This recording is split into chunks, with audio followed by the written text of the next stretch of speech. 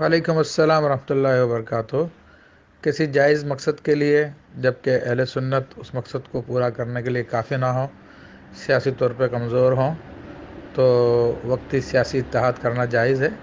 اور خود سرکار دو عالم صلی اللہ تعالیٰ علیہ وآلہ وسلم نے بھی، جیسے کہ یہودیوں سے وقتی طور پہ صلاح فرمائی تھی اور کافروں کے مقابلے میں۔